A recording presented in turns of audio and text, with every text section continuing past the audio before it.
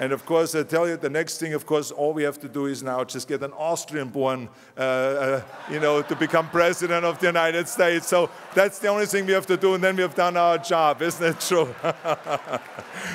Things are happening in America. I'm telling you, there's great momentum for, for us Austrian-born bodybuilders. Great momentum. I love it.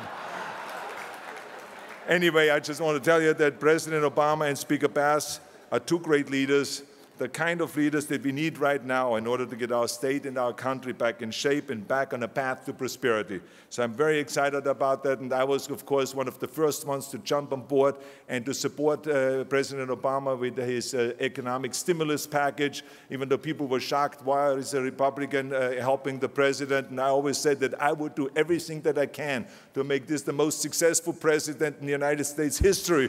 Because if that is the case, then the country is going to be successful. goal.